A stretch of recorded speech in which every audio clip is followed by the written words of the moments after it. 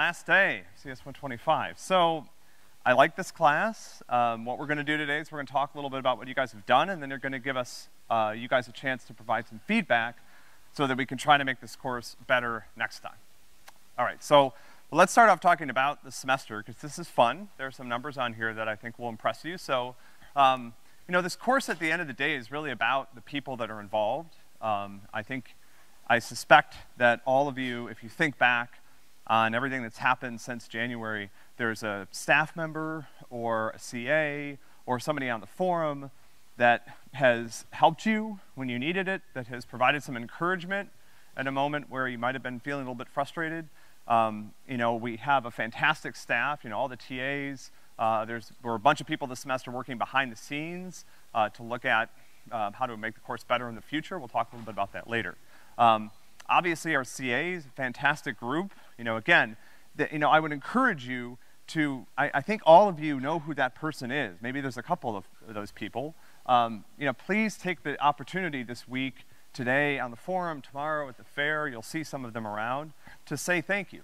Um, because when I talk to them at the very beginning of the semester, one of the things I point out is that you're gonna have an opportunity at some point between now and May to make a difference uh, for somebody who's trying to learn computer science and is getting started in this field.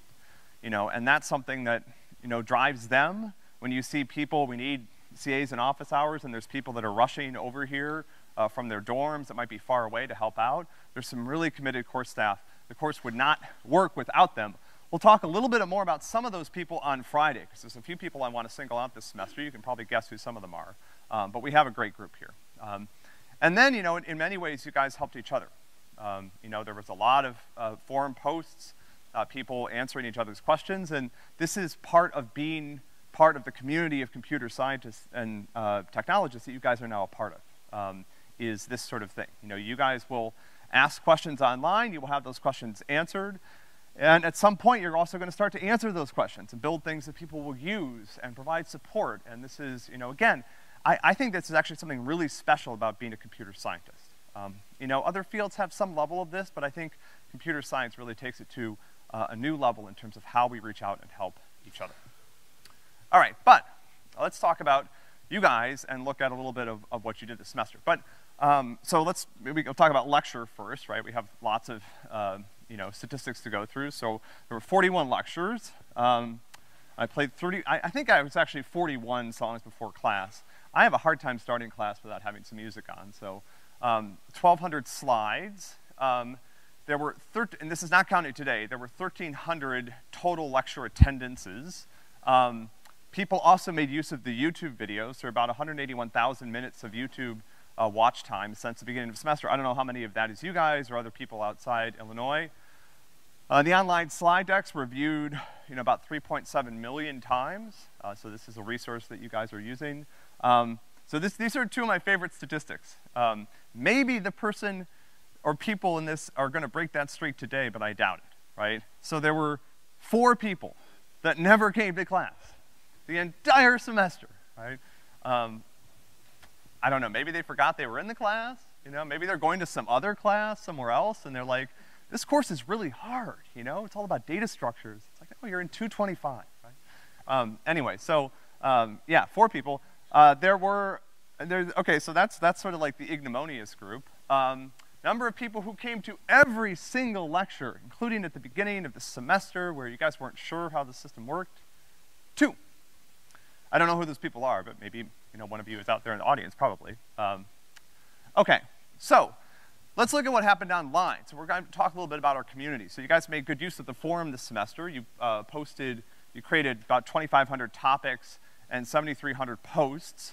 Um, you guys viewed on the forum this semester topics about 115,000 times and read about, you know, four point, about half a million posts. Um, to in total, now I want you to remember this number because I'm gonna show you another slide in a minute. So you guys, as a class, spent, and this, I don't know how Discourse calculates this, whatever, but about uh, 2,400 hours on the forum this semester and you gave each other about 2,500 likes, all right? Let's talk about the staff. So that's students. Okay, keep in mind that number, 2,500 hours on the forum.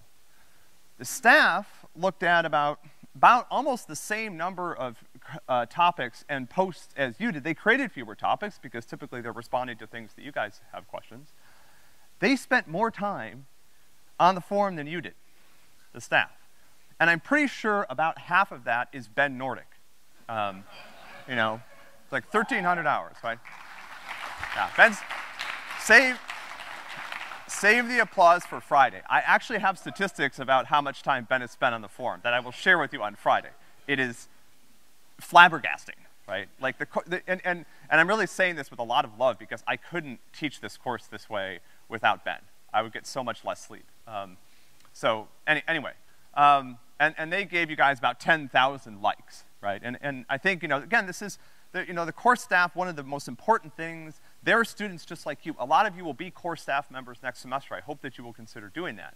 Um, they don't always have the answers, but what they do always have, I hope, and this is particularly true of people like Ben and um, Daniel and Rima that were active on the forum, is that they are so encouraging, right? I mean, they, you know, I, I look at a lot of the activity on the forum, and there, were, there was almost never a time where I felt like, I don't like the attitude behind that reply, right? Incredibly helpful, very supportive. Okay. So let's talk about the MPs. There were five this semester. That's not including, all these statistics are not including the final project, which you guys are still working on.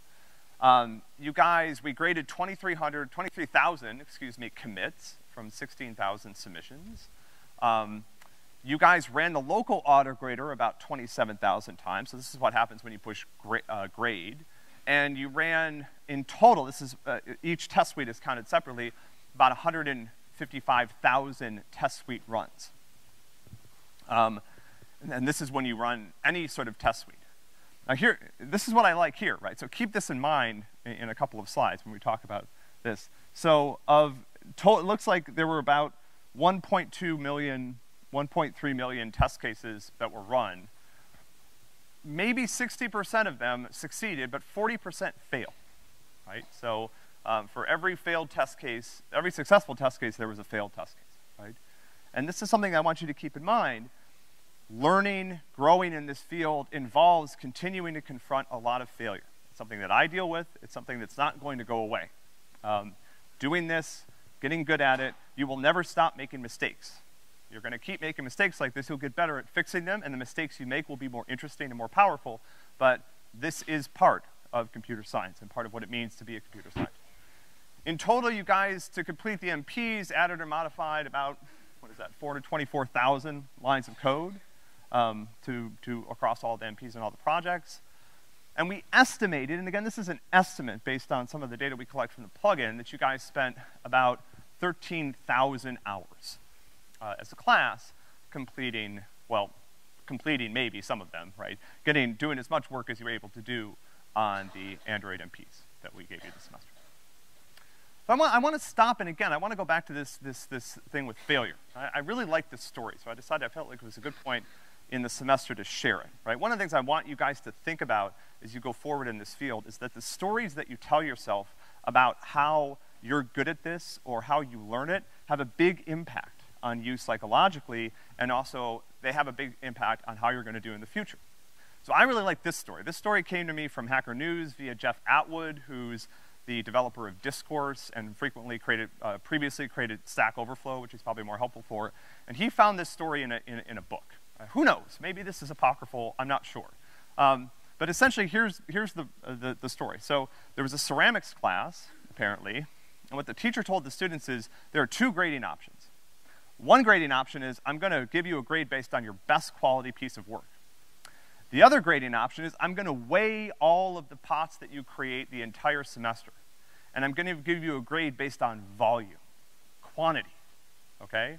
So literally, I'm just going to take everything you produce, ugly, broken, you know, whatever, misshapen, I'm just going to put it on a scale, and, you know, depending on how much volume you've produced, I'm going to, that's how I'm going to give you the grade. And so what happened, which is not that surprising, hopefully, to you by the time that you've got to the end of this class, is that the highest quality work came out of the group that was being graded on quantity. So the people that were encouraged to keep trying, to build things, to try again, even if it breaks, even if it doesn't look good, just make another one, right? Keep going, keep your feet moving, keep building stuff, keep creating mistakes. that was the group that made the most progress. And there's an enormous amount of the design of this class, from my perspective, that is based on this idea.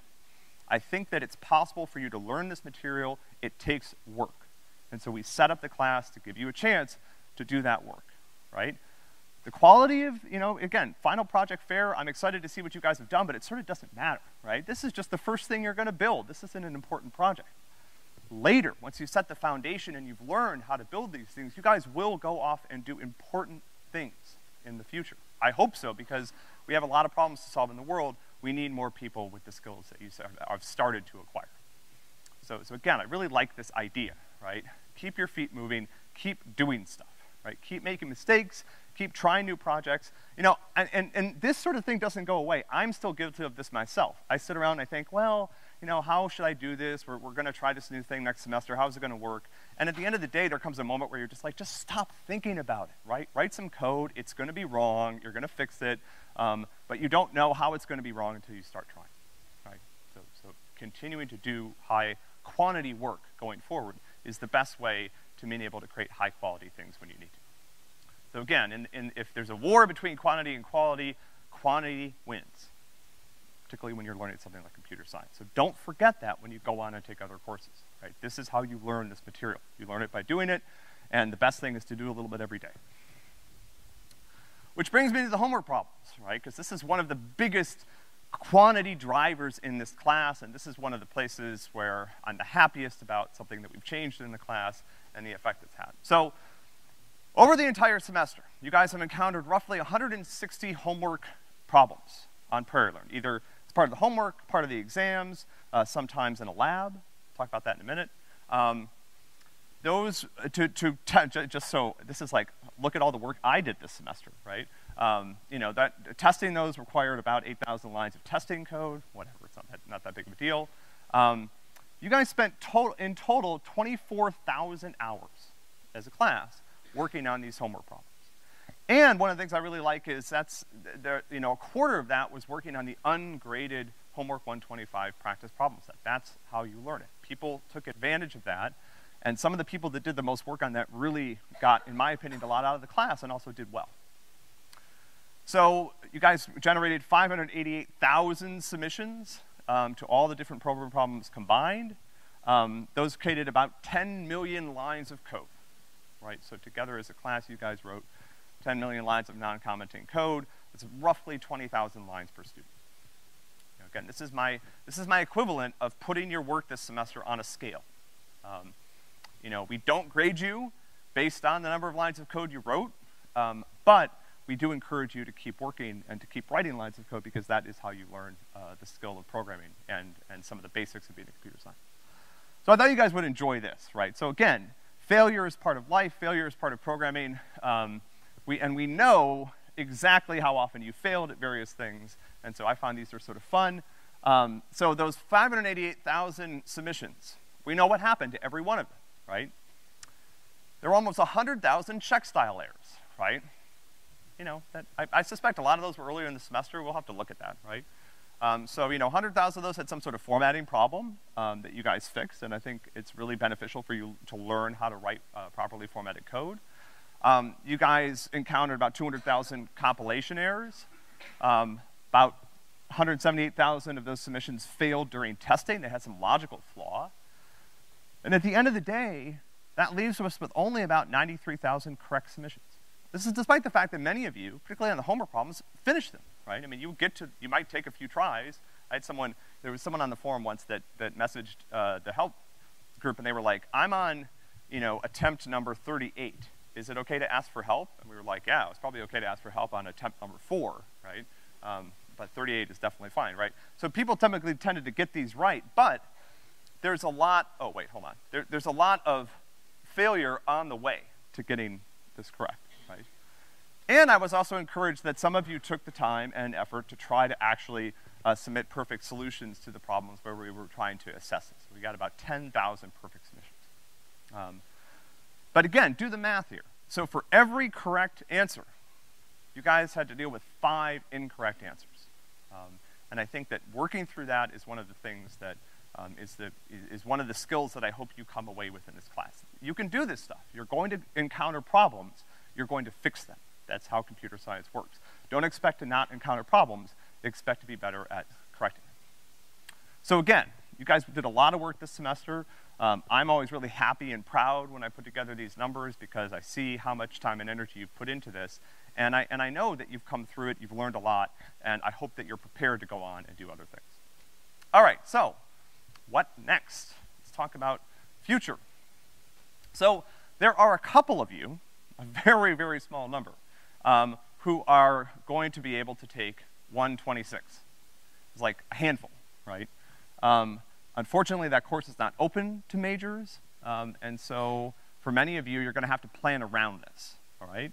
Um, so here's my suggestion about how to do this. 173 is the next course in the progression, but here's the problem. If you go on and take 173, uh, stop bouncing around. If you go on and take 173, and then you plan on taking 225, you're gonna, there will, if you don't program between now and the time you reach 225, which will be spring 2020, you will have gone nine months without writing a line of code. And then you'll be thrown into a class that uses C++. All right? That does not work. Okay? So you have to do something to keep your feet moving, to keep getting those half hour, hour, little bits of practice um, on a daily or very regular basis that you need to continue to build up your skills as a computer scientist in a program. There's a bunch of different ways to do that. Um, if you haven't, one thing I want to point out that I think is important for you guys to know is that um, if you didn't take 196 this semester, the 125 honors section, you can take it in the fall. You do not have to take it alongside 125. So that's a way to, you know, get a little bit of practice um, alongside 173, particularly if you're planning on going and taking 225 and other courses in the department, maybe in a minor or trying to transfer in or whatever. Um, you can be a CA for 125. That doesn't necessarily involve writing a lot of code, but you are going to be forced to help students with their own code, and there's a certain amount of uh, learning that goes on with that. If you guys are capable of doing side projects, whatever it is, right, you guys have to do something uh, to make sure that you keep learning. Uh, because again, one of the reasons that 126 was put in the program for CS majors is this nine-month gap. It doesn't work, right? Um, if you take nine months off and you show up in 225, you're to be in trouble, right? We know this. We have data showing. All right, so other things you can do. We are recruiting CAs for uh, fall 2019. That's a fun experience. I hope many of you will consider that. Everybody is eligible. There's no criteria. Um, you know, this is a great learning experience for people. If you struggled in the class, sometimes you are one of the best CAs because you know what the students are going through and it doesn't come naturally to you, and so it's easier to help another person. Sometimes someone that just gets things or has had a lot of prior experience is not very sympathetic when they're working with a beginner. Um, so we'll have, I'll put up a, a, new form for this at some point. I think the one right now is closed, but at some point over the summer, expect to hear from us, and we will uh, be very excited to have any of you here as CAs in the fall. Um, it's a lot of fun. Okay, so let me talk for a few minutes, let me make sure I'm, I'm not running over on time, about the course evaluation. So we're gonna do those now. Okay, great. I'm going to give you guys about, you know, hopefully about 20 minutes to do. Okay, so quickly, we take this feedback extremely seriously. All right. Um, I hope you guys will provide it. Let me tell you a couple of stories about what we've done with this. Right. Oh, let me also point out something else. So today you're beginning an email from me.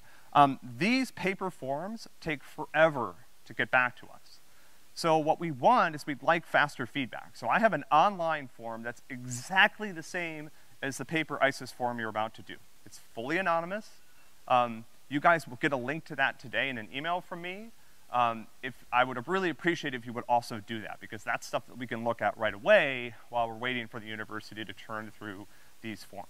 Um, so again, if, we could, if you could do both, that would be great. If you don't want to write as much detail on the paper form, I'm okay with that right? If, if you plan on doing the online form, there you've got a box and you can type into it and you can tell us a lot about what we should do to make the class better. Okay. Oh, also, sorry, I just want to point this out.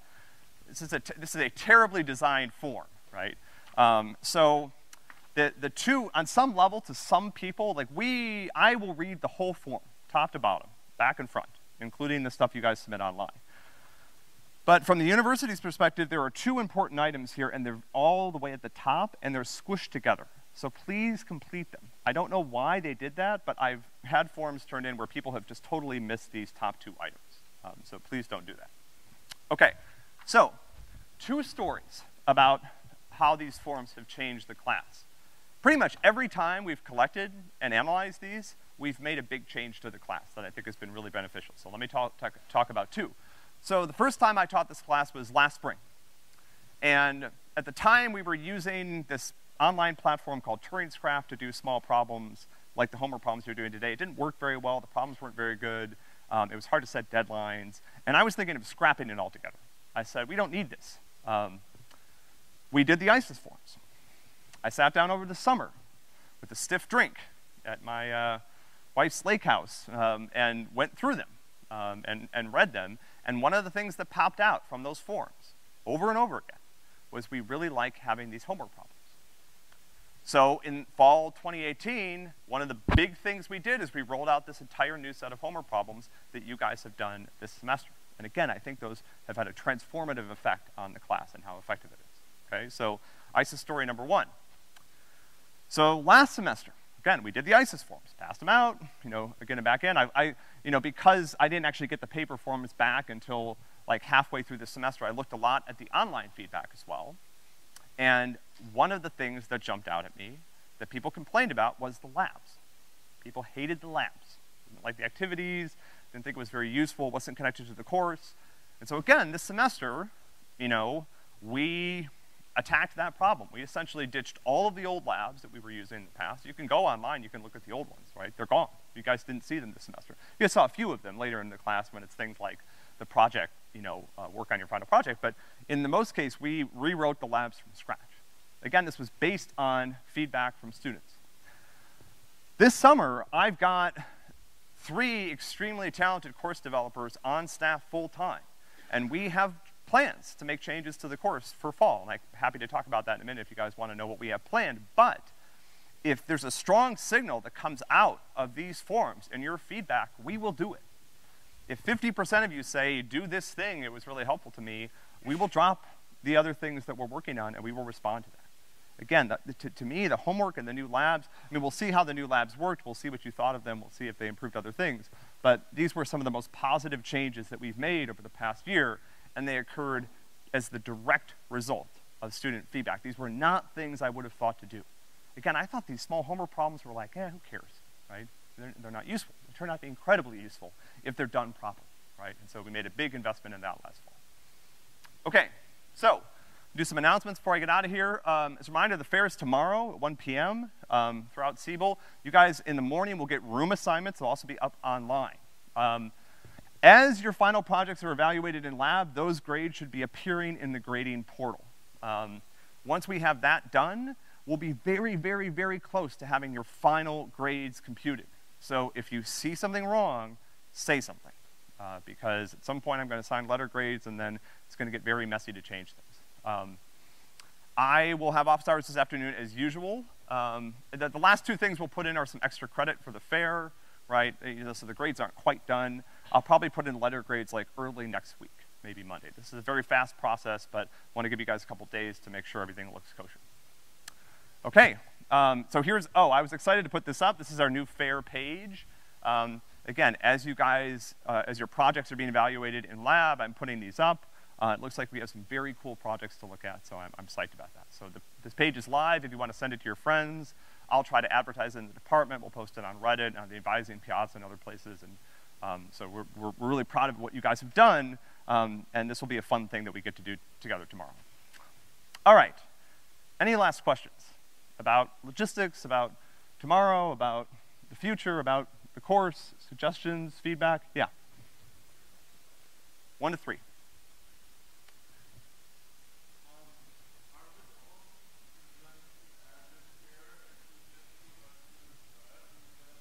Nope, everybody pre presents at the fair. Yeah, great question. So you, if you guys want to sign up, if you guys indicated in lab that you participate in the fair, you will participate in the fair. We will assign you a room, you will be there, you will be judged um, by the judges that will be evaluating all the projects, and you will receive, that's how you get extra credit for. it. Yeah, absolutely, yep. Uh, I'm gonna try. Yeah, yeah, I need to look at how to do it. Yeah, I think, I think discourse, in somewhere in the bowels of discourse exists enough information to allow me to do this. Um, but yeah, I'm gonna take a stab at it. Yeah, I haven't forgotten about that. Somebody tagged me on the forum. Anything else? Last thoughts? Ah, okay, so just, just briefly, because I want to give you guys, so changes we have on tap for fall 2019. Um, probably the biggest one from your perspective as students is that we are going to totally replace all of the existing MPs. Um, and what we're going to replace them with is actually a multi-stage project. So rather than doing, so right now it's like, you guys do an MP for two weeks and then it's like down the memory hole, you never see it again, right? You start something new. What we're gonna do instead um, is Ben is in charge of doing this. So Ben's gonna help me design because Ben is really good at this. Um, he's gonna help me design probably like a 10 week, maybe 12 week um, single project. You guys, the fall 2019 students will build a single, fairly sophisticated Android app basically from scratch. So we'll take them through from week zero, the process of setting up the project, and then, you know, essentially what have been the MP deadlines this semester will now be checkpoints while you're expected to complete some feature or have added a UI or whatever, right? So essentially, you know, this, this is our new experiment, right, is to see, um, you know, can we, is this gonna help? Is it more fun for students to be able to build something more sophisticated because the work is all additive? Um, I think this will also give us a chance to kind of teach you how to do a long project right? You get to see some of the other pieces that are involved that we usually kind of hide behind the, the cover. Right?